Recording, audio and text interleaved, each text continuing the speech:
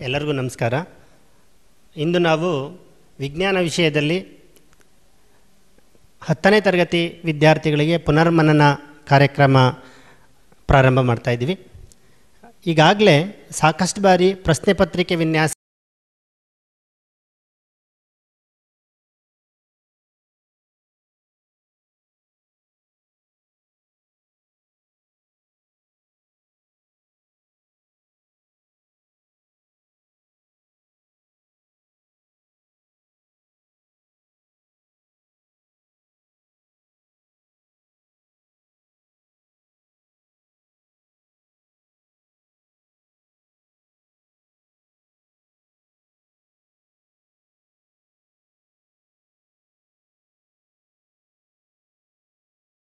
ಹೀಗೆ ನಾವು ಬಹು ಆಯ್ಕೆ ಪ್ರಶ್ನೆಗಳು ಎಂಟು ಪ್ರಶ್ನೆಗಳನ್ನು ಹೊಂದಿರುತ್ತೆ.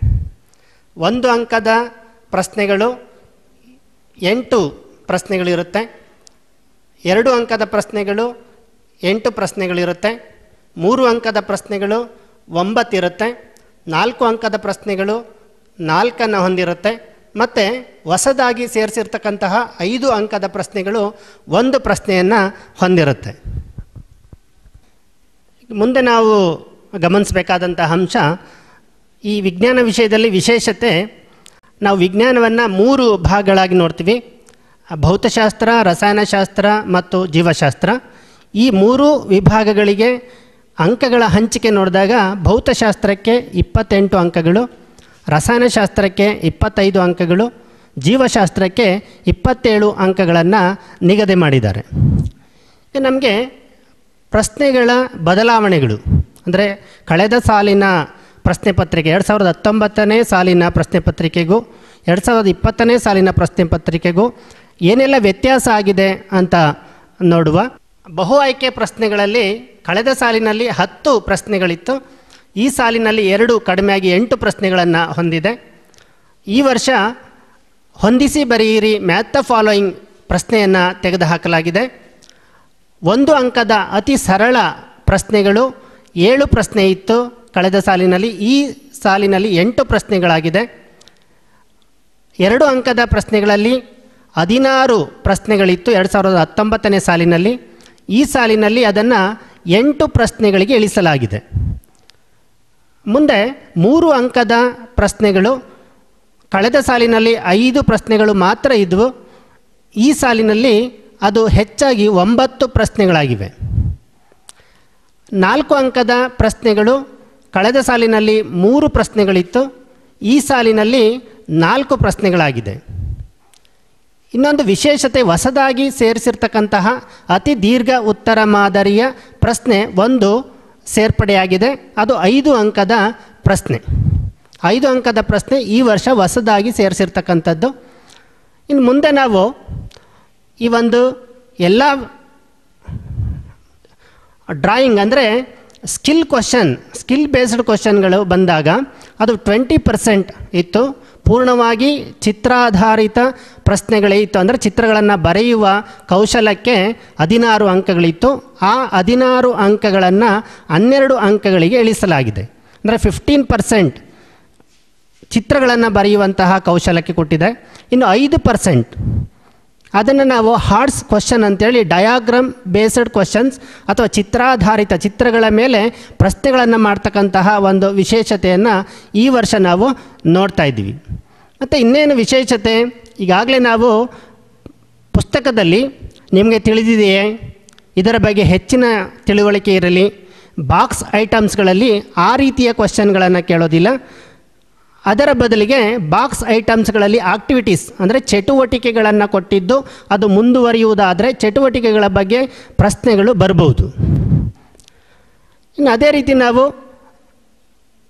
ಚಾಯ್ಸ್ ಕ್ವಶನ್ಗಳನ್ನು ನೋಡಿದಾಗ, ಇಂಟರ್ನಲ್ ಚಾಯ್ಸ್ ಕ್ವಶನ್ಗಳನ್ನು ನಾವು ನೋಡಿದಾಗ ಎರಡು ಅಂಕದ ಪ್ರಶ್ನೆಗಳಲ್ಲಿ ಎರಡು ಚಾಯ್ಸ್ ಇರುತ್ತೆ, ಮೂರು ಅಂಕದ ಪ್ರಶ್ನೆಗಳಲ್ಲಿ ನಾಲ್ಕು ಇಂಟರ್ನಲ್ ಚಾಯ್ಸ್ ಇರುತ್ತೆ ನಾಲ್ಕು ಅಂಕದ ಪ್ರಶ್ನೆಗಳಲ್ಲಿ ಒಂದು ಚಾಯ್ಸ್ ಇರುತ್ತೆ.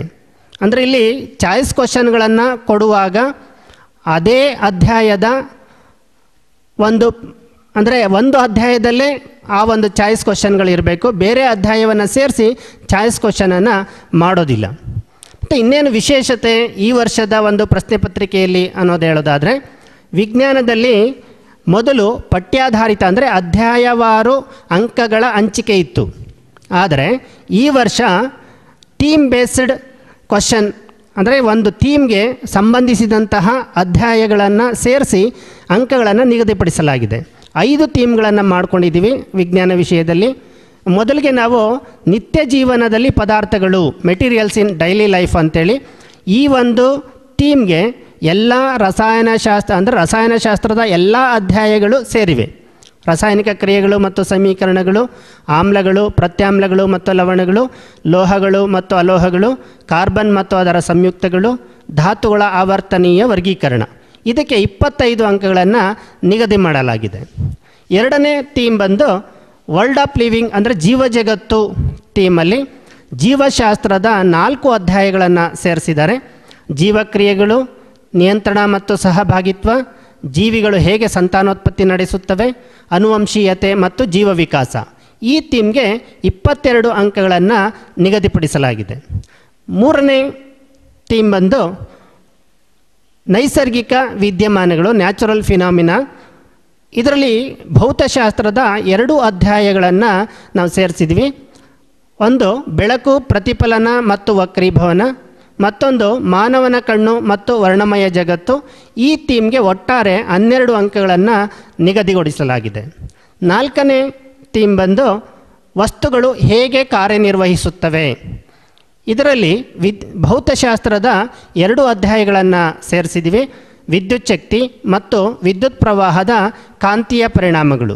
ಈ ಥೀಮಲ್ಲಿ ಹದಿಮೂರು ಅಂಕಗಳನ್ನು ನಾವು ನಿಗದಿಗೊಳಿಸಿದ್ದೀವಿ ಕೊನೆಯದಾಗಿ ಐದನೇ ಥೀಮ್ ನೈಸರ್ಗಿಕ ಸಂಪನ್ಮೂಲಗಳು. ಇದರಲ್ಲಿ ಒಂದು ಭೌತಶಾಸ್ತ್ರದ ಅಧ್ಯಾಯ, ಎರಡು ಜೀವಶಾಸ್ತ್ರದ ಅಧ್ಯಾಯಗಳನ್ನು ಸೇರಿಸಲಾಗಿದೆ. ಭೌತಶಾಸ್ತ್ರದಲ್ಲಿ ಶಕ್ತಿಯ ಆಕಾರಗಳು, ಜೀವಶಾಸ್ತ್ರದ ನೈಸರ್ಗಿಕ ಸಂಪನ್ಮೂಲಗಳ ಸುಸ್ಥಿರ ನಿರ್ವಹಣೆ ಮತ್ತು ನಮ್ಮ ಪರಿಸರ. ಈ ಮೂರು ಅಧ್ಯಾಯಗಳನ್ನು ಒಂದು ಥೀಮಲ್ಲಿಟ್ಟು ಇವುಗಳಿಗೆ ಒಟ್ಟಾರೆ ಎಂಟು ಅಂಕಗಳನ್ನು ನಿಗದಿಪಡಿಸಲಾಗಿದೆ. ಈ ಒಂದು ಥೀಮ್ ವೈಸ್ ಕ್ವಶನ್ಗಳನ್ನು ಯಾಕೆ ಈ ವರ್ಷ ಮಾಡಿದ್ದಾರೆ ಅಂತೇಳಿದ್ರೆ ಕಳೆದ ಬಾರಿಯೆಲ್ಲ ಕೆಲವು ಅಧ್ಯಾಯಗಳು ತುಂಬ ಕಡಿಮೆ ಅಂಕಗಳನ್ನು ಹೊಂದಿದ್ರೆ, ಆ ಅಧ್ಯಾಯಗಳನ್ನು ಪಾಠ ಮಾಡದೆ ಅಥವಾ ಬೋಧನೆ ಮಾಡ್ದೇನೂ ಕೂಡ ಇರುವಂತಹ ಸಂದರ್ಭ ಬರ್ತಾ ಇತ್ತು. ಅದಕ್ಕೋಸ್ಕರ ಈಗ ಥೀಮ್ ಬೇಸ್ಡ್ ಕ್ವಶನನ್ನು ಇಟ್ಟು ಅಂದರೆ ಅಧ್ಯಾಯಗಳನ್ನು ಇಟ್ಟು ಅದಕ್ಕೆ ಅಂಕಗಳನ್ನು ನಿಗದಿಗೊಳಿಸಲಾಗಿದೆ. ಇಲ್ಲಿ ನಾವು ಸ್ಕಿಲ್ ಅಥವಾ ಕೌಶಲ್ಯಕ್ಕೆ ಸಂಬಂಧಿಸಿದಂತಹ ಒಂದು ಪ್ರಶ್ನೆಗಳನ್ನು ಕಳೆದ ವರ್ಷ ಹದಿನಾರು ಅಂಕಗಳಿಗೆ ನಾವು ಇಟ್ಟಿದ್ವಿ ಅಂದರೆ ಇಪ್ಪತ್ತು ಪರ್ಸೆಂಟ್, ಶೇಕಡ ಇಪ್ಪತ್ತರಷ್ಟು ಅಂಕಗಳನ್ನು ನಿಗದಿಗೊಳಿಸಲಾಗಿತ್ತು. ಎಂಬತ್ತು ಅಂಕಗಳಿಗೆ, ಹದಿನಾರು ಅಂಕಗಳಿಗೆ ಚಿತ್ರಗಳು ಬರ್ತಾಯಿತ್ತು ಆದರೆ ಈಗ ಅದನ್ನು ಹದಿನೈದು ಪರ್ಸೆಂಟ್ ಚಿತ್ರ ಬರೆಯುವ ಕೌಶಲಕ್ಕೆ ಐದು ಶೇಕಡ ಚಿತ್ರಗಳ ಮೇಲೆ ಪ್ರಶ್ನೆಗಳನ್ನು ಮಾಡುವಂತಹ ಒಂದು ವಿಧಾನ ಇದೆ.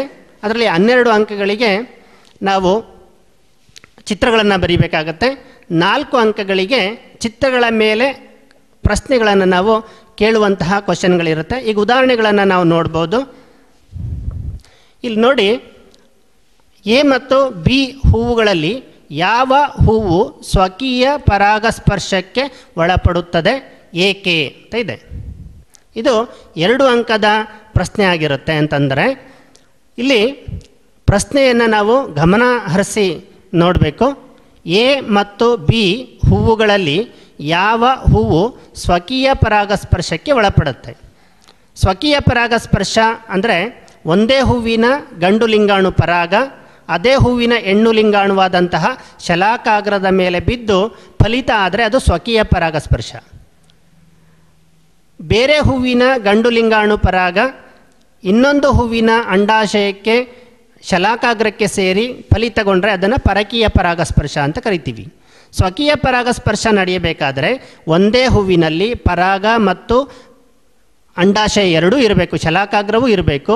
ಅದನ್ನು ನಾವು ಗಮನಿಸಿದಾಗ ಎ ಎಂಬ ಚಿತ್ರದಲ್ಲಿ ಪರಾಗ ಮತ್ತು ಅಂಡಾಶಯ ಎರಡೂ ಇರೋದರಿಂದ, ಶಲಾಕಾಗ್ರ ಇರೋದರಿಂದ ಎ ಎಂಬ ಹೂವಿನಲ್ಲಿ ಸ್ವಕಾಯ, ಸ್ವಕೀಯ ಪರಾಗಸ್ಪರ್ಶ ಒಳಪಡುತ್ತೆ. ಮುಂದೆ ಮತ್ತೊಂದು ಚಿತ್ರ ನಾವು ನೋಡ್ತಾ ಇದ್ದೀವಿ. ಎ ಮತ್ತು ಬಿ ರಚನೆಗಳ ವಿನ್ಯಾಸದಲ್ಲಿ ಅವುಗಳ ಕಾರ್ಯಕ್ಕೆ ಪೂರಕವಾಗಿ ಕಂಡುಬರುವ ಸಾಮ್ಯತೆ ಏನು ಅಂತೇಳಿ. ಇಲ್ಲಿ ಶ್ವಾಸಕೋಶದ ಚಿತ್ರ ಮತ್ತು ಕರುಳಿನ ಭಾಗದ ಚಿತ್ರವನ್ನು ನಮಗೆ ತೋರಿಸಿದ್ದಾರೆ. ನೋಡಿ, ಯಾವುದೇ ಒಂದು ಕ್ರಿಯೆಯಲ್ಲಿ ಅಬ್ಸಾರ್ಬ್ಸನ್ ಹೀರಿಕೆ ಆಗಬೇಕಾದ್ರೆ ಮೇಲ್ಮೈ ವಿಸ್ತೀರ್ಣ ಜಾಸ್ತಿ ಬೇಕು.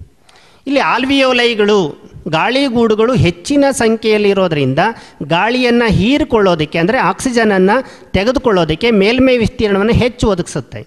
ಅದೇ ರೀತಿ ಸಣ್ಣ ಕರುಳು ಮತ್ತು ದೊಡ್ಡ ಕರುಳಿನ ವಿಸ್ತೀರ್ಣ ಜಾಸ್ತಿ ಇರೋದರಿಂದ ನಾವು ಆಹಾರ ಪಚನವಾದ ನಂತರ ಪೋಷಕಾಂಶಗಳನ್ನು ಹೀರ್ಕೊಳ್ಳೋದಕ್ಕೆ ಅದು ಕೂಡ ಮೇಲ್ಮೈ ವಿಸ್ತಿ, ಅಂದರೆ ವಿಸ್ತೀರ್ಣವನ್ನು ಹೆಚ್ಚಾಗಿ ಹೊಂದಿಸುತ್ತೆ ಇದು ಎರಡರ ಸಾಮ್ಯತೆಯನ್ನು ನಾವು ಗುರುತಿಸಬೇಕು. ಅಲ್ಲಿ ಭಾಗಗಳನ್ನು ನೋಡಿ.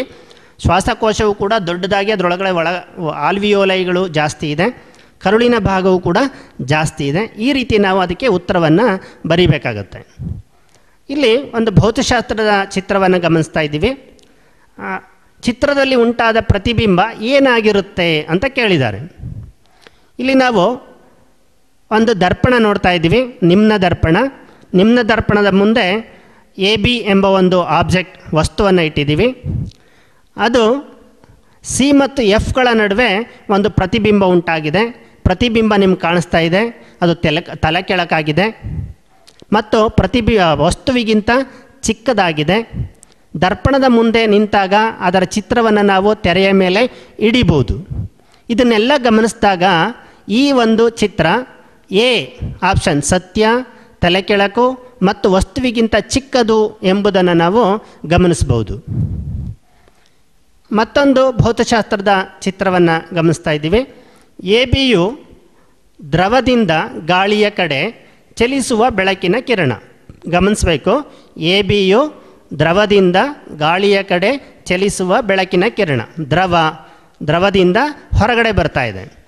ಬಿ ಸಿ ಮತ್ತು ಬಿ ಡಿಗಳು ವಕ್ರೀಭವನ ಹೊಂದಿದ ಕಿರಣಗಳು. ಬಿ ಸಿ ಮತ್ತು ಬಿ ಡಿಗಳು ವಕ್ರೀಭವನ ಹೊಂದಿದ ಕಿರಣಗಳು. ಎರಡು ಕಿರಣಗಳು ಹೊರಗಡೆ ಬರ್ತಾ ಇದೆ. ವಕ್ರೀಭವನ ಹೊಂದಿದ ನಂತರ ಬಂದಿರತಕ್ಕಂಥ ಕಿರಣಗಳು.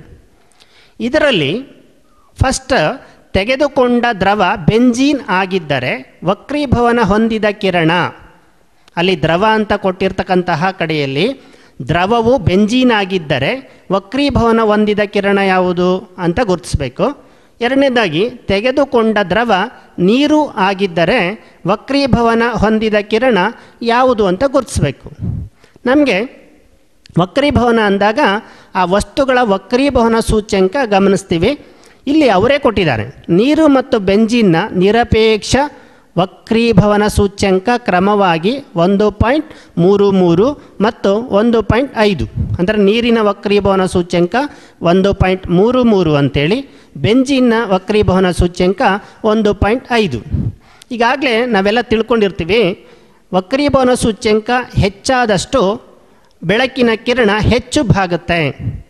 ವಕ್ರೀಭವನ ಸೂಚ್ಯಂಕ ಕಡಿಮೆ ಇದ್ದರೆ ಅದರ ಭಾಗುವಿಕೆ ಕಡಿಮೆ ಇರುತ್ತೆ. ಇದನ್ನು ನಾವು ಗಮನಿಸಿದಾಗ ನೀರಿನ ವಕ್ರೀಭವನ ಸೂಚ್ಯಂಕ ಕಡಿಮೆ ಇರೋದರಿಂದ ಬಿ ಡಿ ಅನ್ನೋದು ನೀರು ಆಗಿದ್ರೆ ಅಂದರೆ ದ್ರವ ವಸ್ತು ನೀರನ್ನು ತೆಗೆದುಕೊಂಡ್ರೆ ಬಿ ಡಿ ಅನ್ನೋದು ಮೊದಲನೇ ಆನ್ಸರ್ ಆಗಿರುತ್ತೆ. ಬೆಂಜೀನ್ಗೆ ನೀರು ಅನ್ನೋದು ದ್ರವ ಆಗಿದ್ದರೆ ಅದು ಬಿ ಡಿ ಆಗಿರುತ್ತೆ. ಬೆಂಜಿನ್ ಆಗಿದ್ದರೆ ಬಿ ಸಿ ಆಗಿರುತ್ತೆ. ಮತ್ತೊಂದು ಚಿತ್ರವನ್ನು ಗಮನಿಸ್ತಾ ಇದ್ದೀವಿ. ಭೌತಶಾಸ್ತ್ರಕ್ಕೆ ಸಂಬಂಧಪಟ್ಟಂತೆ ಸೊಲನಾಯ್ಡ್ ಅನ್ನುವಂತಹ ಒಂದು ಬಹು ಆಯ್ಕೆ ಪ್ರಶ್ನೆ ಇದೆ. ಇಲ್ಲಿ ಸೊಲನಾಯ್ಡ್ಗೆ ಸಂಬಂಧಪಟ್ಟಂತೆ ಸೊಲನಾಯ್ಡ್ನ ಸುತ್ತಲೂ ಅಂದರೆ ಯಾವ ರೀತಿ ಕಾಂತಕ್ಷೇತ್ರ ಇದೆ ಅನ್ನೋದ್ರ ಮೇಲೆ ಇದು ಪ್ರಶ್ನೆ ಆಗಿದೆ. ಸೊಲನಾಯ್ಡ್ನ ಸುತ್ತಲೂ ಏಕರೂಪ ಕಾಂತಕ್ಷೇತ್ರ ಇದೆ. ಅಂದರೆ ಸೊಲನಾಯ್ಡ್ನ ಸುತ್ತಲೂ ಇರುತ್ತಾ ಅಂತ ಕೇಳಿದ್ದಾರೆ. ಸೊಲನಾಯ್ಡನ್ನು ಪ್ರಬಲ ಕಾಂತಕ್ಷೇತ್ರದಲ್ಲಿ ಇರಿಸಲಾಗಿದೆ. ಅದನ್ನು ಅದರ ಸುತ್ತ ಒಂದು ಪ್ರಬಲ ಕಾಂತಕ್ಷೇತ್ರ ಇದೆಯಾ ಅಂತೇಳಿ ಕೇಳಿದ್ದಾರೆ ಸೊಲನಾಯ್ಡ್ನ ಒಳಭಾಗದ ಎಲ್ಲ ಬಿಂದುಗಳಲ್ಲಿ ಕಾಂತಕ್ಷೇತ್ರವು ಸಮಾನವಾಗಿದೆ. ಅನ್ನೋದನ್ನು ಇದೆ. ಡಿ, ಸೊಲನಾಯ್ಡ್ ಯಾಂತ್ರಿಕ ಬಲವನ್ನು ಅನುಭವಿಸುತ್ತದೆ. ಇಲ್ಲಿ ನೋಡಿ, ಅಲ್ಲಿ ಸೊಲನಾಯ್ಡ್ನ ಸುತ್ತ ಏಕರೂಪ ಕಾಂತಕ್ಷೇತ್ರ ಅಂದಾಗ ಅಲ್ಲಿ ಗಮನಿಸಿದಾಗ ಇಲ್ಲ ಅನ್ನೋದು ಗೊತ್ತಾಗುತ್ತೆ. ಬಿ, ಸೊಲನಾಯ್ಡನ್ನು ಪ್ರಬಲ ಕಾಂತಕ್ಷೇತ್ರದಲ್ಲಿ ಇರಿಸಲಾಗಿದೆ. ಅದನ್ನು ಯಾವುದೇ ಕಾಂತಕ್ಷೇತ್ರದ ಮಧ್ಯದಲ್ಲಿ ಇಟ್ಟಿಲ್ಲ ಅದನ್ನು. ಇನ್ನು ಡಿ ನೋಡಿದಾಗ ಸೊಲನಾಯ್ಡ್ ಯಾಂತ್ರಿಕ ಬಲವನ್ನು ಅನುಭವಿಸುತ್ತಿದೆ. ಅದನ್ನು ಬೇರೆ ವಿದ್ಯುತ್ ಶಕ್ತಿಗಾಗಲಿ ಯಾವುದಕ್ಕೂ ನಾವು ಅಳವಡಿಸಿಲ್ಲದೆ ಇರೋದರಿಂದ ಡಿ ಕೂಡ ಆಗೋದಿಲ್ಲ. ಸಿ ಅನ್ನೋದು ಆನ್ಸರ್ ಆಗುತ್ತೆ. ಇಲ್ಲಿ ಮತ್ತೊಂದು ಚಿತ್ರವನ್ನು ಗಮನಿಸ್ತಾ ಇದ್ದೀವಿ. ಕೆಳಗಿನ ವಿದ್ಯುನ್ಮಂಡಲದಲ್ಲಿ ಬಲ್ಬಿನ ಪ್ರಕಾಶವನ್ನು ಹೆಚ್ಚಿಸಲು ಅಥವಾ ಕಡಿಮೆ ಮಾಡಲು ಎ ಬಿ ಸ್ಥಾನದಲ್ಲಿ ಯಾವ ಸಾಧನವನ್ನು ಜೋಡಿಸಬೇಕು? ನಿಮ್ಮ ಉತ್ತರಕ್ಕೆ ಕಾರಣ ಕೊಡಿ ಅಂತೇಳಿ. ಈಗ ನಾವು ಬಲ್ಬಿನ ಪ್ರಕಾಶತೆಯನ್ನು ಹೆಚ್ಚಿಸೋದಕ್ಕೆ ಮತ್ತು ಕಡಿಮೆ ಮಾಡೋದಕ್ಕೆ ನಾವು ಆಲ್ರೆಡಿ ಒಂದು ವಿದ್ಯುತ್ ಕೋಶವನ್ನು ಸಂಪರ್ಕ ಮಾಡಿರೋದ್ರಿಂದ ಸ್ವಿಚ್ ಇದೆ. ಅಲ್ಲಿ ಮತ್ತೆ ಎ ಬಿ ಅನ್ನೋದು ಕಡೆ ನಾವು ರೋಧವನ್ನು ಹೆಚ್ಚು ಕಡಿಮೆ ಮಾಡಿದ್ರೆ ಆ ಬಲ್ಬಿನ ಪ್ರಕಾಶತೆ ಹೆಚ್ಚು ಕಡಿಮೆ ಆಗುತ್ತೆ. ಆದರೆ ಬೇರೆ ಬೇರೆ ರೋಧಗಳನ್ನು ಅಳವಡಿಸೋ ಬದಲು ರಿಯೋಸ್ಟಾಟ್ ಅನ್ನುವಂತಹ ಸಾಧನವನ್ನು ಅಳವಡಿಸದ್ದೇ ಆದರೆ ನಾವು ಆ ಒಂದು ಬಲ್ಬಿನ ಪ್ರಕಾಶತೆಯನ್ನು ಹೆಚ್ಚು ಮತ್ತು ಕಡಿಮೆ ಮಾಡಬಹುದು ಎಲ್ಲರಿಗೂ ಧನ್ಯವಾದಗಳು.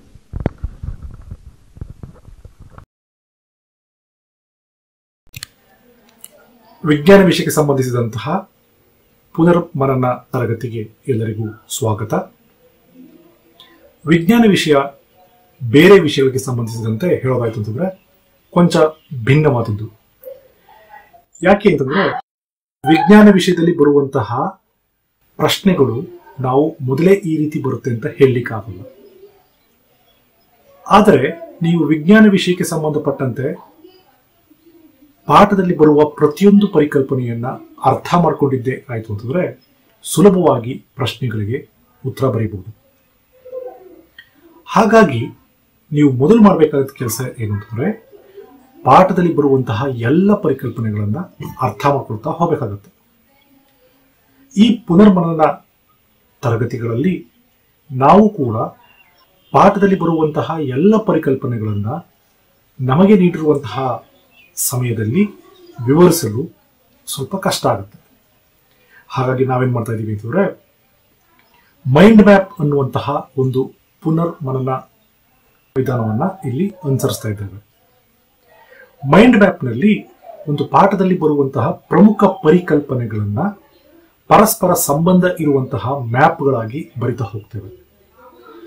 ಪ್ರತಿಯೊಂದು ಪರಿಕಲ್ಪನೆಗಳ ಬಗ್ಗೆ ಸಂಕ್ಷಿಪ್ತವಾದ ವಿವರಣೆಯನ್ನ ನೀಡ್ತೇವೆ. ಹಾಗೆಯೇ ಪ್ರತಿಯೊಂದು ಪಾಠದಲ್ಲಿ ಬರುವಂತಹ ಹೆಚ್ಚು ಕಮ್ಮಿ ಎಲ್ಲಾ ಪ್ರಯೋಗಗಳನ್ನ ನಿಮಗೆ ಒಂದು ಪಕ್ಷಿ ನೋಟವನ್ನು ಕೊಡಲಿಕ್ಕೆ ಇಲ್ಲಿ ಪ್ರಯತ್ನವನ್ನು ಮಾಡಿದ್ದೇವೆ. ಹಾಗೆಯೇ ಪಾಠದಲ್ಲಿ ಬರುವಂತಹ ಪ್ರಮುಖ ಚಿತ್ರಗಳ ಬಗ್ಗೆ ಬೋಧನೆಯನ್ನ ಮಾಡ್ತಾ ವಿವರಣೆಯನ್ನು ನೀಡಲಿಕ್ಕೆ ಪ್ರಯತ್ನವನ್ನು ಮಾಡಿದ್ದೇವೆ. ನೀವು ಈ ಪಾಠಗಳನ್ನು ನೋಡಬೇಕಾದ್ರೆ ಬರೆಯುವಂತಹ ಪುಸ್ತಕ, ಪೆನ್ನು, ಪೆನ್ಸಿಲ್ಗಳನ್ನು ಇಟ್ಕೊಂಡು ನಾವು ಮೈಂಡ್ ಮ್ಯಾಪ್ ಅನ್ನ ತೋರಿಸ್ತಾ ಇದ್ದಾಗ ನೀವು ಕೂಡ ನಿಮ್ಮ ಪುಸ್ತಕಗಳಲ್ಲಿ ಬರ್ಕೊಳ್ಳಿ. ಹಾಗೆಯೇ ಪ್ರತಿಯೊಂದು ಪರಿಕಲ್ಪನೆಗಳು ಹೇಗೆ ಪರಸ್ಪರ ಸಂಬಂಧಿತವಾಗಿದ್ದಾವೆ ಅನ್ನೋದನ್ನ ನೀವು ಅರ್ಥ ಮಾಡ್ಕೊಳ್ತಾ ಹೋಗಿ. ಈಗಾಗಲೇ ನೀವು ಪಾಠವನ್ನ ಓದಿ ಅರ್ಥ ಮಾಡ್ಕೊಂಡಿರೋದ್ರಿಂದ ಈ ಪಾಠಗಳನ್ನ ನೀವು ಕೇಳ್ತಾ ಕೇಳ್ತಾ ಮತ್ತೊಮ್ಮೆ ನಿಮಗೆ ಹಿಂದೆ ಕಲ್ತಿರುವಂತಹ ವಿಷಯ ಚೆನ್ನಾಗಿ ಅರ್ಥ ಆಗಲಿಕ್ಕೆ ಸಹಾಯಕ ಆಗುತ್ತೆ ಅಂತ ಭಾವಿಸ್ತೇವೆ. ಈ ಪಾಠವನ್ನು ಅರ್ಥ ಮಾಡ್ಕೊಳ್ಳೋದ್ರ ಜೊತೆಗೆ ನಿಮ್ಮ ಶಾಲೆಯ ಶಿಕ್ಷಕರುಗಳು ನೀಡಿರುವಂತಹ ನೋಟ್ಸ್ ಆಗಿರಬಹುದು ಅಥವಾ ವಿವರಣೆ ಇರತಕ್ಕಂತಹ ಯಾವುದೇ ಒಂದು ಮೆಟೀರಿಯಲ್ ನಿಮ್ಮ ಹತ್ರ ಇತ್ತು ಅಂತಂದರೆ ಅದನ್ನೂ ಓದಿ. ಎಲ್ಲರಿಗೂ ನಮಸ್ಕಾರ. ರಾಸಾಯನಿಕ ಕ್ರಿಯೆಗಳು ಮತ್ತು ಸಮೀಕರಣಗಳು ಅನ್ನುವಂತಹ ಪಾಠದ ಮೈಂಡ್ ಮ್ಯಾಪ್ ಅನ್ನು ನೀವು ಗಮನಿಸ್ತಾ ಇದ್ದೀರಾ? ಮೊದಲನೇದಾಗಿ ಈ ಪಾಠದಲ್ಲಿ ನಾವು ನೋಡುವಂಥದ್ದು ಲಕ್ಷಣಗಳು, ನಂತರ ರಾಸಾಯನಿಕ ಕ್ರಿಯೆಗಳನ್ನು ಸರಿದೂಗಿಸುವಂತಹ ವಿಷಯ, ನಂತರ ರಾಸಾಯನಿಕ ಕ್ರಿಯೆಗಳ ವಿಧಗಳು ಅನ್ನುವಂತಹ ವಿಷಯಗಳನ್ನು ನಾವು ಅಧ್ಯಯನ ಮಾಡಕ್ಕೆ ಹೋಗ್ತೀವಿ. ಮೊದಲನೇದಾಗಿ ಈಗ ರಾಸಾಯನಿಕ ಕ್ರಿಯೆಗಳ ಲಕ್ಷಣಗಳ ಬಗ್ಗೆ ತಿಳಿದುಕೊಳ್ಳೋಣ. ರಾಸಾಯನಿಕ ಕ್ರಿಯೆಗಳ ಲಕ್ಷಣಗಳಲ್ಲಿ ನಾವು ಮೊದಲನೇದಾಗಿ ನೋಡ್ತಕ್ಕಂಥದ್ದು ಬಣ್ಣದಲ್ಲಿನ ಬದಲಾವಣೆ, ನಂತರ ತಾಪದಲ್ಲಿನ ಬದಲಾವಣೆ ಅನಿಲದ ಬಿಡುಗಡೆ ಹಾಗೆ ಪ್ರಕ್ಷೇಪಣೆ ಅನ್ನುವಂಥದ್ದನ್ನ ರಾಸಾಯನಿಕ ಕ್ರಿಯೆಯಲ್ಲಿ ಮೊದಲನೇದಾಗಿ ನಾವು ನೋಡುವಂಥದ್ದು ಬಣ್ಣದಲ್ಲಿನ ಬದಲಾವಣೆ. Evolution of gas formation of ಪ್ರಕ್ಷೇಪಣೆಗೊಳ್ಳುವುದು. ನಂತರ ತಾಪದಲ್ಲಿನ ಬದಲಾವಣೆಯನ್ನ ನಾವು ಗಮನಿಸ್ತೇವೆ. ಈಗ ನಂತರದ ವಿಷಯ ರಾಸಾಯನಿಕ ಸಮೀಕರಣಗಳನ್ನು ಸರಿದೂಗಿಸುವುದು. ಯಾವುದೇ ಒಂದು ರಾಸಾಯನಿಕ ಕ್ರಿಯೆ ನಡೀತಾ ಇದೆ ಅಂತಂದ್ರೆ ನಾವು ಅದನ್ನ ಸಂಕೇತಗಳಾಗಿ ಬರೀತೇವೆ. ನೋಡಿ ಇಲ್ಲಿ ಮೆಗ್ನೀಷಿಯಂ ಅನ್ನುವಂತಹ ಲೋಹ ವಾತಾವರಣದಲ್ಲಿ ಇರುವಂತಹ ಆಮ್ಲಜನಕದೊಂದಿಗೆ ವರ್ತಿಸಿ ಮೆಗ್ನೀಷಿಯಂ ಆಕ್ಸೈಡ್ ಆಗಿ ಬದಲಾಗಿದೆ ಅನ್ನುವಂಥದ್ದನ್ನ ಸಂಕೇತಗಳ ಮೂಲಕ ಇಲ್ಲಿ ಬರೆದು ತೋರಿಸ್ತಾ ಇದ್ದೇವೆ. ಇಲ್ಲಿ ಪ್ರತಿವರ್ತಕಗಳಲ್ಲಿ ಇರುವಂತಹ ಪರಮಾಣುಗಳ ಸಂಖ್ಯೆ ಹಾಗೂ ಉತ್ಪನ್ನಗಳಲ್ಲಿ ಇರುವಂತಹ ಪರಮಾಣುಗಳ ಸಂಖ್ಯೆಗಳು ಪರಸ್ಪರ ಸಮವಾಗಿದೆಯೇ ಅನ್ನೋದನ್ನು ನೋಡ್ತೇವೆ. ನೋಡಿ, ಇಲ್ಲಿ ಜಿಂಕ್ ಒಂದಿದೆ, ಹಾಗೆ ಇಲ್ಲಿ ಜಿಂಕ್ ಒಂದಿದೆ, ಹೈಡ್ರೋಜನ್ ಎರಡಿದೆ ಇಲ್ಲಿ ಹೈಡ್ರೋಜನ್ ಎರಡಿದೆ, ಸಲ್ಫರ್ ಒಂದಿದೆ, ಹಾಗೆ ಸಲ್ಫರ್ ಒಂದಿದೆ, ಆಮ್ಲಜನಕ ನಾಲ್ಕಿದೆ, ಇಲ್ಲೂ ಕೂಡ ಆಮ್ಲಜನಕ ನಾಲ್ಕಿದೆ. ಬ್ಯಾಲೆನ್ಸ್ಡ್ ಕೆಮಿಕಲ್ ರಿಯಾಕ್ಷನ್ ಅಂತ ಕರಿತೇವೆ. ಮುಂದೆ ನಾವು ಈ ಪಾಠದಲ್ಲಿ ನೋಡ್ತಾ ಇರ್ತಕ್ಕಂಥದ್ದು ರಾಸಾಯನಿಕ ಕ್ರಿಯೆಗಳ ವಿಧಗಳು. ರಾಸಾಯನಿಕ ಕ್ರಿಯೆಯ ವಿಧಗಳಲ್ಲಿ ಮುಖ್ಯವಾಗಿ ನಾವು ಸಂಯೋಗ ಕ್ರಿಯೆ, ವಿಭಜನ ಕ್ರಿಯೆ, ಸ್ಥಾನಪಲ್ಲಟ ಕ್ರಿಯೆ, ದ್ವಿಸ್ಥಾನಪಲ್ಲಟ ಕ್ರಿಯೆ, ಉತ್ಕರ್ಷಣ ಹಾಗೂ ಅಪಕರ್ಷಣ ಅನ್ನುವಂತಹ ರಾಸಾಯನಿಕ ಕ್ರಿಯೆಗಳನ್ನು ನೋಡ್ತೇವೆ. ಮೊದಲನೇದಾಗಿ, ರಾಸಾಯನಿಕ ಕ್ರಿಯೆಗಳಲ್ಲಿ ಸಂಯೋಗ ಕ್ರಿಯೆಯ ಬಗ್ಗೆ ನೋಡೋಣ. ಎರಡು ಧಾತುಗಳು ಅಥವಾ ಎರಡು ಸಂಯುಕ್ತಗಳು ಪರಸ್ಪರ ಒಂದಕ್ಕೊಂದು ಸಂಯೋಗ ಹೊಂದಿ ಒಂದು ಉತ್ಪನ್ನವಾಗುವಂತಹ ರಾಸಾಯನಿಕ ಕ್ರಿಯೆಯನ್ನ ನಾವು ರಾಸಾಯನಿಕ ಸಂಯೋಗ ಕ್ರಿಯೆ ಅಂತ ಕರಿತೇವೆ. ನಾವು ಇಲ್ಲಿ ತೆಗೆದುಕೊಂಡಿರುವಂತಹ ಉದಾಹರಣೆ, ಮೆಗ್ನೀಷಿಯಂ ಆಮ್ಲಜನಕದೊಂದಿಗೆ ವರ್ತಿಸಿದಾಗ ಮೆಗ್ನೀಷಿಯಂ ಆಕ್ಸೈಡ್ ಆಗಿ ಬದಲಾಗ್ತಾ ಇರ್ತಕ್ಕಂಥದ್ದನ್ನು ನೀವು ಇಲ್ಲಿ ನೋಡಬಹುದಾಗಿದೆ. ನೋಡಿ ಇಲ್ಲಿ ಮೆಗ್ನೀಷಿಯಂ ಮೆಗ್ನೀಷಿಯಂ ಸ್ಟ್ರಿಪ್ ಅನ್ನ ಕಾಯಿಸಿದಾಗ ಅದು ವಾತಾವರಣದಲ್ಲಿ ಇರುವಂತಹ ಆಮ್ಲಜನಕದೊಂದಿಗೆ ಸಂಯೋಗ ಹೊಂದಿ ಮೆಗ್ನೀಷಿಯಂ ಆಕ್ಸೈಡ್ ಆಗ್ತಾ ಇರುವಂತದ್ದನ್ನ ನಾವು ನೋಡಬಹುದು. ಇಲ್ಲಿ ಎರಡು ಧಾತುಗಳು ಸಂಯೋಗ ಹೊಂದಿ ಒಂದು ದೊಡ್ಡದಾದಂತಹ ಸಂಯುಕ್ತ ಆಗಿರುವುದನ್ನ ನಾವು ಇಲ್ಲಿ ನೋಡ್ತಾ ಇದ್ದೇವೆ. ನಂತರದ ರಾಸಾಯನಿಕ ಕ್ರಿಯೆ ವಿಭಜನ ಕ್ರಿಯೆ. ವಿಭಜನ ಕ್ರಿಯೆಯಲ್ಲಿ ಒಂದು ದೊಡ್ಡದಾದಂತಹ ಸಂಯುಕ್ತವು ಎರಡು ಅಥವಾ ಎರಡಕ್ಕಿಂತ ಹೆಚ್ಚಿನ ಸಣ್ಣ ಸಣ್ಣ ಉತ್ಪನ್ನಗಳಾಗಿ ಆದರೆ ಅದನ್ನ ನಾವು ರಾಸಾಯನಿಕ ವಿಭಜನ ಕ್ರಿಯೆ ಎಂದು ಕರೆಯುತ್ತೇವೆ. ಇಲ್ಲಿ ತೆಗೆದುಕೊಂಡಿರುವಂತಹ ಉದಾಹರಣೆ ಎಫ್ಇಎಸ್ಒ ಫೋರ್ ಈ ಎಫ್ಇಎಸ್ಒ ಫೋರ್ ಒಂದು ಬಿಳಿ ಬಣ್ಣದ ಕ್ರಿಸ್ಟಲ್ಸ್ಗಳಾಗಿದ್ದಾವೆ ಈ ಬಿಳಿ ಬಣ್ಣದ ಕ್ರಿಸ್ಟಲ್ ಅನ್ನ ನಾವು ಕಾಯಿಸ್ತಾ ಹೋದಂತೆ ಕಂದು ಬಣ್ಣಕ್ಕೆ ಬದಲಾಗ್ತಾ ಹೋಗುತ್ತೆ. ಎರಡು ಅನಿಲಗಳು ಬಿಡುಗಡೆ ಆಗ್ತಾ ಹೋಗುತ್ತೆ. ಒಂದು ಎಸ್ ಒ ಟು ಅನ್ನುವಂತಹ ಅನಿಲ, ಇನ್ನೊಂದು ಎಸ್ ಒ ತ್ರೀ ಅನ್ನುವಂತಹ ಅನಿಲ. ಆ ಅನಿಲ ಬಿಡುಗಡೆಯಾಗಿರುವಂತದ್ದು ನಮಗೆ ವಾಸನೆಯ ಮೂಲಕ ಗೊತ್ತಾಗ್ತಾ ಹೋಗುತ್ತೆ. ನೀವಿಲ್ಲಿ ಕೆಮಿಕಲ್ ರಿಯಾಕ್ಷನ್ ನೋಡ್ತಾ ಇದ್ದೀರಾ? F E S O four ವಿಭಜನೆಯಾಗಿ F E two O three S O two ಅನಿಲ ಹಾಗೂ ಎಸ್ ಒ ತ್ರೀ ಅನಿಲಗಳಾಗಿ ಸಣ್ಣ ಸಣ್ಣ ಉತ್ಪನ್ನಗಳಾಗಿ ವಿಭಜನೆಯಾಗಿರುವಂತದ್ದನ್ನ ನೀವು ಇಲ್ಲಿ ನೋಡಬಹುದಾಗಿದೆ. ವಿಭಜನೆ ಕ್ರಿಯೆ ಮುಖ್ಯವಾಗಿ ಮೂರು ರೀತಿಯಲ್ಲಿ ಆಗಬಹುದು. ನೀವು ನೋಡಿದಂತಹ ವಿಭಜನೆ ಕ್ರಿಯೆ, ಉಷ್ಣ ವಿಭಜನ ಕ್ರಿಯೆ, ಪಠ್ಯಪುಸ್ತಕದಲ್ಲಿ ಇನ್ನೊಂದು ಉದಾಹರಣೆ ಕೂಡ ಕೊಟ್ಟಿದ್ದಾರೆ. P B N O three twice ಇದು ವಿಭಜನೆಯಾಗಿ P B O N O two ಮತ್ತು ಓ ಟುಗಳಾಗಿ ವಿಭಜನೆ ಆಗ್ತಾ ಇರುವಂತದ್ದನ್ನ ನಾವು ಇಲ್ಲಿ ನೋಡ್ತಾ ಇದ್ದೇವೆ. ಹಾಗೆ ಪಠ್ಯಪುಸ್ತಕದಲ್ಲಿ ಕೊಟ್ಟಿರ್ತಕ್ಕಂತಹ ಮತ್ತೊಂದು ವಿಭಜನ ಕ್ರಿಯೆ, ಬೆಳಕಿನ ವಿಭಜನ ಕ್ರಿಯೆ. ಈ ಬೆಳಕಿನ ವಿಭಜನ ಕ್ರಿಯೆಯಲ್ಲಿ ಎ ಜಿ ಸಿ ನ ಮೇಲೆ ಸೂರ್ಯನ ಕಿರಣ ಬಿದ್ದಾಗ ಅದು ಎ ಜಿ ಮತ್ತು ಸಿ ಎಲ್ ಟುಗಳಾಗಿ ವಿಭಜನೆ ಆಗ್ತಾ ಇರುವಂಥದ್ದನ್ನು ನೋಡಬಹುದಾಗಿದೆ. ಸೊ, ಒಟ್ಟು ಮೂರು ರೀತಿಯಾದಂತಹ ವಿಭಜನ ಕ್ರಿಯೆಯನ್ನು ಪಠ್ಯಪುಸ್ತಕದಲ್ಲಿ ನೀಡಲಾಗಿದೆ. ನಂತರದ ರಾಸಾಯನಿಕ ಕ್ರಿಯೆ, ಸ್ಥಾನ, ಪಲ್ಲಟ ಕ್ರಿಯೆ. ಹೆಚ್ಚು ಕ್ರಿಯಾಶೀಲವಾಗಿರುವಂತಹ ಧಾತು, ಕಡಿಮೆ ಕ್ರಿಯಾಶೀಲವಾಗಿರುವಂತಹ ಧಾತುವನ್ನ ಸ್ಥಾನ ಪಲ್ಲಟಗೊಳಿಸಿದರೆ ಇಂತಹ ರಾಸಾಯನಿಕ ಕ್ರಿಯೆಯನ್ನ ನಾವು ಸ್ಥಾನ ಪಲ್ಲಟ ಕ್ರಿಯೆ ಎಂದು ಕರಿತೇವೆ. ನೋಡಿ, ಇಲ್ಲಿ ಇದು ಹೆಚ್ಚು ಕ್ರಿಯಾಶೀಲವಾಗಿರುವಂತಹ ಧಾತು ಅಂತ ಭಾವಿಸೋಣ. ಇದು ಕಡಿಮೆ ಕ್ರಿಯಾಶೀಲವಾಗಿರುವಂತಹ ಧಾತು ಅಂತ ಭಾವಿಸೋಣ. ಹೆಚ್ಚು ಕ್ರಿಯಾಶೀಲವಾಗಿರುವಂತಹ ಧಾತು, ನೋಡಿ ಇಲ್ಲಿ ಕಡಿಮೆ ಕ್ರಿಯಾಶೀಲ ಧಾತುವನ್ನ ರಿಪ್ಲೇಸ್ ಮಾಡಿದೆ ಸ್ಥಾನಪಲ್ಲಟಗೊಳಿಸಿದೆ ಹಾಗಾಗಿ ಈ ಕಡಿಮೆ ಕ್ರಿಯಾಶೀಲ ಧಾತುವಿನ ಜಾಗದಲ್ಲಿ ಹೆಚ್ಚು ಕ್ರಿಯಾಶೀಲ ಧಾತುವನ್ನ ನಾವು ಉತ್ಪನ್ನದಲ್ಲಿ ನೋಡಬಹುದು.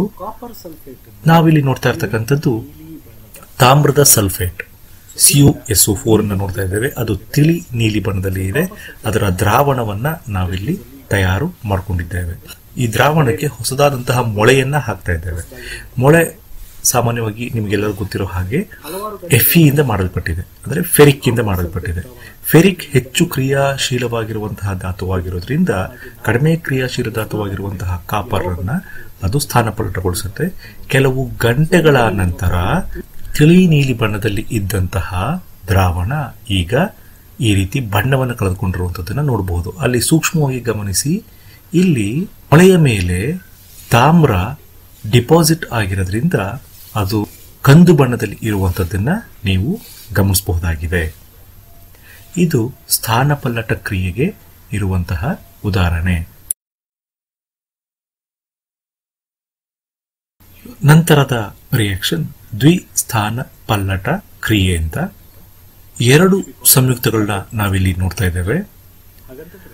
ಒಂದ್ ಮೊದಲನೇ ಸಂಯುಕ್ತದ ಒಂದು ಅಯಾನು, ಎರಡನೇ ಸಂಯುಕ್ತದ ಮತ್ತೊಂದು ಅಯಾನುಗಳು ಪರಸ್ಪರ ವಿನಿಮಯಗೊಂಡರೆ ಇಲ್ಲಿ. ತಮ್ಮ ಸ್ಥಾನವನ್ನ ಬದಲಾಯಿಸಿಕೊಂಡರೆ ಅಂತಹ ಕ್ರಿಯೆಯನ್ನ ನಾವು ದ್ವಿಸ್ಥಾನ, ಪಲ್ಲಟ, ಕ್ರಿಯೆ ಅಂತ ಕರಿತೇವೆ. ಇಲ್ಲಿ ತೆಗೆದುಕೊಳ್ತಾ ಇರ್ತಕ್ಕಂತಹ ಉದಾಹರಣೆ N A two S O ಫೋರ್ನೊಂದಿಗೆ B A C L two react ಆದಾಗ B A S O four ಮತ್ತೆ ಎನ್ ಎ ಸಿ ಎಲ್ ಬರುವಂತಹ ಕ್ರಿಯೆಯನ್ನ ನಾವು ಈಗ ನೋಡ್ತಾ ಇದ್ದೇವೆ. ನೋಡಿ, ಈ B S C L two ಹಾಗೆ N A two S O ಫೋರ್ನ ದ್ರಾವಣಗಳನ್ನ ಇಲ್ಲಿ ತಯಾರು ಮಾಡಿಕೊಂಡಿದ್ದೇವೆ. ಈ ದ್ರಾವಣಗಳು ಬಣ್ಣರಹಿತವಾಗಿರುವ ಈ ಎರಡೂ ದ್ರಾವಣಗಳನ್ನ ಮಿಶ್ರಣ ಮಾಡಿದಾಗ ಈಗ ಮಿಶ್ರಣ ಆದ ಹಾಗೆ ಪ್ರಕ್ಷೇಪಣೆಯಾಗುವಂಥದ್ದನ್ನ ನೀವು ನೋಡಬಹುದು ಸೊ ಇಲ್ಲಿ ಬಿ ಎ ಜೊತೆಗೆ ಇಲ್ಲಿಯ ಎಸ್ ಒ ಫೋರ್ ಸೇರ್ಕೊಳ್ತಾ ಇದೆ. B A S O four ಆಗುತ್ತೆ. ಹಾಗೆಯೇ ಎನ್ ಎ ಟೂ ಜೊತೆಗೆ C L two ಸೇರ್ಕೊಳ್ಳೋದ್ರಿಂದ two N A C L ಬರ್ತಾ ಇದೆ. ಸೊ ಇಲ್ಲಿ ಪ್ರಕ್ಷೇಪಣೆ ಆಗ್ತಾ ಇರ್ತಕ್ಕಂಥದ್ದು B A S O four barium sulphate ಆಗುವಂಥದ್ದನ್ನು ನಾವು ಇಲ್ಲಿ ನೋಡ್ತಾ ಇದ್ದೇವೆ. ಇದು ರ- ದ್ವಿಸ್ಥಾನಪಲಟ ಕ್ರಿಯೆಗೆ ಉದಾಹರಣೆ ಆಗಿದೆ. ನಂತರ ನಾವು ನೋಡ್ತಾ ಇರ್ತಕ್ಕಂತಹ ರಾಸಾಯನಿಕ ಕ್ರಿಯೆಗಳಲ್ಲಿ ಉತ್ಕರ್ಷಣ ಮತ್ತು ಅಪಕರ್ಷಣ ಕ್ರಿಯೆ ಅಂತ ಕರಿತೇವೆ. ಉತ್ಕರ್ಷಣ ಕ್ರಿಯೆ ಅಂತಂದರೆ ಒಂದು ವಸ್ತುವು ಕ್ರಿಯೆಯಲ್ಲಿ ಆಕ್ಸಿಜನ್ನನ್ನು ಪಡೆದುಕೊಂಡರೆ ಅದನ್ನು ನಾವು ಉತ್ಕರ್ಷಣೆ ಅಂತ ಕರಿತೇವೆ. ಇಲ್ಲಿ ತಾಮ್ರವನ್ನು ನಾವು ಕಾಯಿಸಿದಾಗ ವಾತಾವರಣದಲ್ಲಿ ಇರುವಂತಹ ಆಮ್ಲಜನಕದೊಂದಿಗೆ ಅದು ವರ್ತಿಸಿ ತಾಮ್ರದ ಆಕ್ಸೈಡ್ ಆಗುವಂಥದ್ದನ್ನ ನಾವು ನೋಡಬಹುದಾಗಿದೆ. ನೀವಿಲ್ಲಿ ನೋಡ್ತಾ ಇರುವಂತದ್ದು ಒಂದು ತಾಮ್ರದ ಆಕೃತಿಯನ್ನ ನಾವು ಬಿಸಿ ಮಾಡುವಾಗ ಅದು ನಿಧಾನವಾಗಿ ವಾತಾವರಣದಲ್ಲಿ ಇರುವಂತಹ ಆಮ್ಲಜನಕದೊಂದಿಗೆ ವರ್ತಿಸ್ತಾ ಇರೋದ್ರಿಂದ ಅದು ತಾಮ್ರದ ಆಕ್ಸೈಡ್ ಆಗಿ ಬದಲಾಗ್ತಾ ಇದೆ. ತಾಮ್ರದ ಆಕ್ಸೈಡ್ಗೆ ಹೊಳೆಯುವಂತಹ ಲಕ್ಷಣ ಇಲ್ಲ. ಹಾಗಾಗಿ ಈ ರೀತಿ ಕಪ್ಪು ಬಣ್ಣಕ್ಕೆ ಬದಲಾಗಿರುವಂತದನ್ನ ನೀವು ನೋಡಬಹುದು. ಸೊ ಸಿ ಯು ಕಾಪರ್ ವಾತಾವರಣದಲ್ಲಿರ್ತಕ್ಕಂತಹ ಆಕ್ಸಿಜನ್ ಜೊತೆಗೆ ರಿಯಾಕ್ಟ್ ಆದಾಗ ಅದು ತಾಮ್ರದ ಆಕ್ಸೈಡ್ ಆಗಿ ಬದಲಾಗಿರುವಂತದ್ದನ್ನ ನೋಡಬಹುದು. ಉತ್ಕರ್ಷಣೆಗೆ ಇರುವಂತಹ ಉದಾಹರಣೆ. ಅಪಕರ್ಷಣ ಕ್ರಿಯೆ ಅಂತಂದ್ರೆ ಕ್ರಿಯೆಯಲ್ಲಿ ವಸ್ತು ಆಕ್ಸಿಜನ್ ಅನ್ನ ಕಳೆದುಕೊಂಡರೆ, ಉದಾಹರಣೆಗೆ ತಾಮ್ರದ ಆಕ್ಸೈಡ್ ನೊಂದಿಗೆ ಹೈಡ್ರೋಜನ್ ಅನಿಲ ವರ್ತಿಸಿದರೆ ಇಲ್ಲಿ ಇರುವಂತಹ ಆಮ್ಲಜನಕವನ್ನ ಹೈಡ್ರೋಜನ್ ಅನಿಲ ಪಡ್ಕೊಳ್ಳೋದ್ರಿಂದ ತಾಮ್ರ ಬಿಡುಗಡೆಯಾಗುತ್ತೆ. ಅಂದ್ರೆ ಇಲ್ಲಿ ಕಾಪರ್ ಆಕ್ಸೈಡ್ ಆಕ್ಸಿಜನ್ ಅನ್ನ ಕಳ್ಕೊಂಡು ತಾಮ್ರವಾಗ್ತಾ ಇರುವಂತದ್ದನ್ನ ನಾವು ನೋಡಬಹುದಾಗಿದೆ. ತಾಮ್ರದ ಆಕ್ಸೈಡ್ ಅನ್ನ ನೋಡ್ತಾ ಇದ್ದೇವೆ. ತಾಮ್ರದ ಆಕ್ಸೈಡ್ಗೆ ಹೈಡ್ರೋಜನ್ ಅನಿಲವನ್ನ ನಾವು ಪಾಸ್ ಮಾಡ್ತಾ ಇದ್ದಂಗೆನೆ ಆ ಹೈಡ್ರೋಜನ್ ಅನಿಲ ಆಮ್ಲಜನಕವನ್ನ ಪಡ್ಕೊಳ್ಳೋದ್ರಿಂದ, ಅಲ್ಲಿ ತಾಮ್ರ ಆಮ್ಲಜನಕವನ್ನ ಕಳೆದುಕೊಳ್ತಾ ಇರೋದ್ರಿಂದ ಇದನ್ನ ನಾವು ಅಪಕರ್ಷಣ ಕ್ರಿಯೆ ಅಂತ ಕರಿತೇವೆ. ಉತ್ಕರ್ಷಣ ಕ್ರಿಯೆಗೆ ಸಂಬಂಧಪಟ್ಟಂತೆ ನಿತ್ಯ ಜೀವನದಲ್ಲಿ ನಾವು ನೋಡ್ತಕ್ಕಂತಹ ಉದಾಹರಣೆಗಳನ್ನು ಪಠ್ಯಪುಸ್ತಕದಲ್ಲಿ ನೀಡಿದ್ದಾರೆ. ನಾವು ನೋಡ್ತಕ್ಕಂತಹ ಉದಾಹರಣೆಗಳು ಯಾವ್ಯಾವುದು ಅಂತಂದರೆ ನಶಿಸುವಿಕೆ ಮತ್ತು ಕಮಟುವಿಕೆ ಅಂತ. ನಶಿಸುವಿಕೆ ಅಂತಂದರೆ ಉದಾಹರಣೆಗೆ ಕಬ್ಬಿಣ ವಾತಾವರಣದಲ್ಲಿ ಇರುವಂತಹ ಆಮ್ಲಜನಕದೊಂದಿಗೆ ವರ್ತಿಸಿ ತುಕ್ಕಾಗಿ ಬದಲಾಗುತ್ತೆ. ಆ ತುಕ್ಕು ಅನ್ನುವಂಥದ್ದು ಒಂದು ಉತ್ಕರ್ಷಣ ಕ್ರಿಯೆಯಾಗಿದೆ. ನಶಿಸುವಿಕೆಯನ್ನು ತಡೆಯಲಿಕ್ಕೆ ನಾವು ವಸ್ತುವಿನ ಮೇಲ್ಮೈ ಮೇಲೆ ಬಣ್ಣವನ್ನು ಬಳಿತೇವೆ ಅಥವಾ ಲೋಹಗಳ ಜೊತೆಗೆ ಬೇರೆ ಧಾತುಗಳನ್ನು ಮಿಶ್ರಣ ಮಾಡಿ ಮಿಶ್ರ ಲೋಹಗಳನ್ನು ತಯಾರಿಸೋದ್ರಿಂದ ನಶಿಸುವಿಕೆಯನ್ನು ನಾವು ತಡೆಯಬಹುದಾಗಿದೆ. ಹಾಗೆಯೇ ನಾವು ನೋಡುವಂತಹ ಮತ್ತೊಂದು ಉತ್ಕರ್ಷಣ ಕ್ರಿಯೆ ಯಾವುದು ಅಂತಂದರೆ ಕಮಟುವಿಕೆ ಅಂತ. ಎಣ್ಣೆಯಲ್ಲಿ ಕರೆದಂತಹ ಪದಾರ್ಥಗಳ ತುಂಬ ದಿನಗಳ ನಂತರ ವಾಸನೆ ಬರಲಿಕ್ಕೆ ಪ್ರಾರಂಭ ಆಗ್ತವೆ. ಯಾಕೆ ಅಂತಂದರೆ ಆ ಎಣ್ಣೆಯಲ್ಲಿ ಇರುವಂತಹ ಪದಾರ್ಥಗಳು ನಿಧಾನವಾಗಿ ಆಮ್ಲಜನಕದೊಂದಿಗೆ ಒರೆಸೋದ್ರಿಂದ ಅವುಗಳು ಕಮಟುವಿಕೆಗೊಳ್ಳೋದನ್ನು ನಾವು ನೋಡಬಹುದು. ಕಮಟುವಿಕೆಯನ್ನು ತಡೆಯಲಿಕ್ಕೆ ತಿಂಡಿಯ ಪೊಟ್ಟಣಗಳಲ್ಲಿ ನೈಟ್ರೋಜನ್ ಅನಿಲವನ್ನು ಹಾಕಿರುವಂಥದ್ದನ್ನು ನಾವು ಇಲ್ಲಿ ಗಮನಿಸಬಹುದಾಗಿದೆ. ಸೊ ಇವಿಷ್ಟು ಅಂಶಗಳನ್ನು ನಾವು ರಾಸಾಯನಿಕ ಕ್ರಿಯೆಗಳು ಅನ್ನುವಂತಹ ಪಾಠದಲ್ಲಿ ಗಮನಿಸಲಿದ್ದೇವೆ. ಈ ರೀತಿಯಲ್ಲಿ ನೀವು ಮೈಂಡ್ ಮ್ಯಾಪ್ ಅನ್ನು ಬರ್ಕೊಳ್ಳೋದರ ಮೂಲಕ ಪಾಠದ ಎಲ್ಲ ವಿಷಯವನ್ನ ಬಹಳ ವೇಗವಾಗಿ ಅಧ್ಯಯನ ಮಾಡಬಹುದಾಗಿದೆ ನಮಸ್ಕಾರ.